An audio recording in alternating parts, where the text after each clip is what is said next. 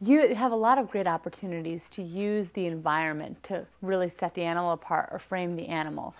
Now, you can do something really fun, like actually just hold an empty picture frame in front of the animal, or you can look at what their environment is. Like you can frame them in their dog bed, or maybe they're laying in their front of their dog house, and the opening of the door sort of frames the animal. It's kind of a frame within a frame. So uh, always kind of keep those things in mind when you're looking for interesting portraits of your pet.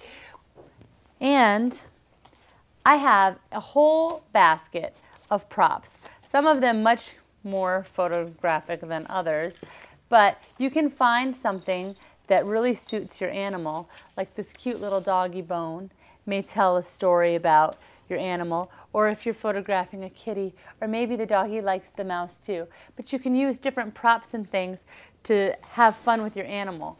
You can also have some fun now, not all clients are going to go for something like this, but it might be cute to put a little boa around your pet or, uh, you know, dress them up if they're game.